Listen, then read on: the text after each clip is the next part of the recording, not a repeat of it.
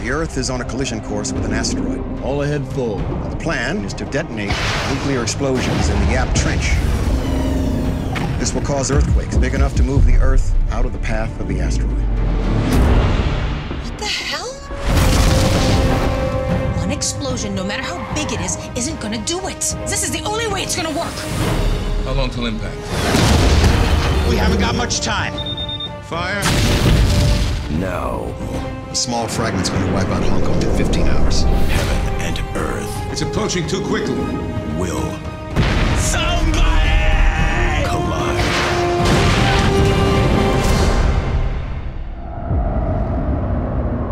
Asteroid versus Earth.